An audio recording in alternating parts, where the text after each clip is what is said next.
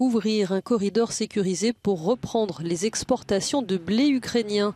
C'est le principal objectif affiché pour la visite du chef de la diplomatie russe à Ankara. Alors que la crise alimentaire menace, Sergei Lavrov est attendu ce mercredi en Turquie. Mais le transport de céréales ne sera pas le seul sujet abordé. Les discussions porteront aussi sur les projets d'Ankara de lancer une nouvelle offensive militaire dans le nord de la Syrie pour y déloger les milices kurdes. La Turquie a vraiment besoin de la bénédiction de la Russie pour pouvoir mener cette opération, estime cet analyste. Je pense qu'ils vont vraiment essayer d'obtenir ce genre de concession de la part de la Russie. Outre la crise alimentaire dont ils vont discuter pour l'Ukraine, je pense que cela va être un sujet de premier plan pour la Turquie. Le président Erdogan a vraiment besoin de cette opération en Syrie pour des raisons de politique intérieure.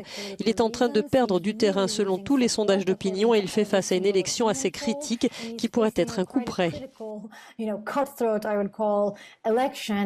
À un an de l'élection présidentielle, le pays est confronté à une grave crise monétaire. Les autorités turques comptent notamment sur les revenus du tourisme pour soutenir l'économie. Or, la Russie est aussi le pays qui fournit le plus gros contingent de touristes au pays.